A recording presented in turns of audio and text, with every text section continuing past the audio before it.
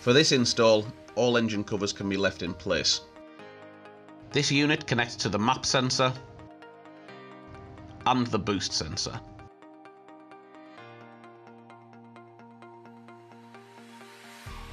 Remove the map connector by pushing down on its releasing tab and pulling back on the connector. Connect our map sensor harness plug to the map sensor.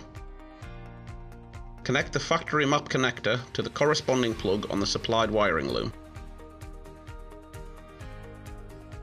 Remove the boost connector by pushing down on its releasing tab, then pulling back on the connector. Connect our boost harness plug to the boost sensor. Connect the factory boost connector to the corresponding plug on the supplied wiring loom. Connect the unit to the wiring loom, then place it into the provided protective bag.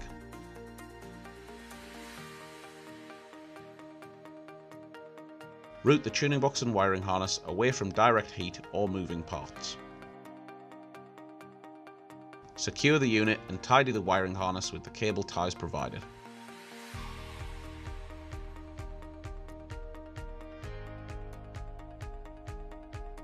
Finally, Ensure that the LEDs illuminate in accordance with the supplied instructions.